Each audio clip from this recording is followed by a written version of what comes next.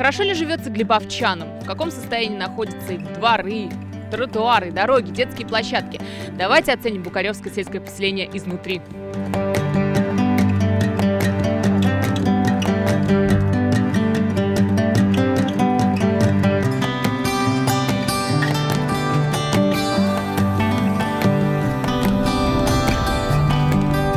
Замечаете какую-то Да, работу? замечаю, большое изменение. Там у нас вот возле этих пятиэтажек хорошие это э, детские площадки. Дворники Дворники работают, работают. очень хорошо работают. Это я ничего не могу сказать. Никуда не, не сходишь.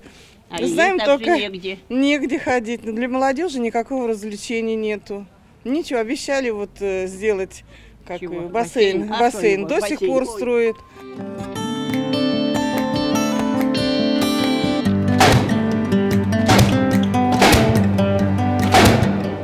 Дворники работают, они стараются. Дворники работают, уборщицы работают. А поселок не благоустроен. Пройдите, посмотрите. За весенний, летний и вот начало осеннего периода по придомовой территории ну, частично ремонтировали отмостки, плюс, соответственно, уборка, опиловка, вывоз там обрезанных кустов, после окоса вывоз травы. В принципе, работали по заявкам жителей.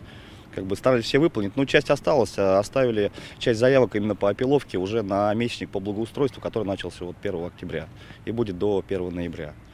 А также занимались э, ремонтом, частичным ремонтом дорог, дом 38, выезд это с первого подъезда на окружную дорогу, плюс ямочный ремонт 18 дома.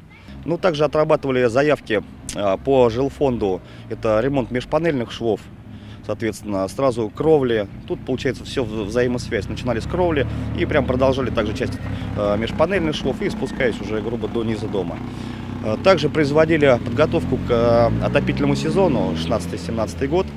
Это ремонт запорной арматуры, ремонт элеваторных узлов, где-то покраска, утепление, где-то замена запорной арматуры. Там, меняли, в частности, вентиля на шаровые краны, на полнопроходные, чтобы циркуляцию улучшить.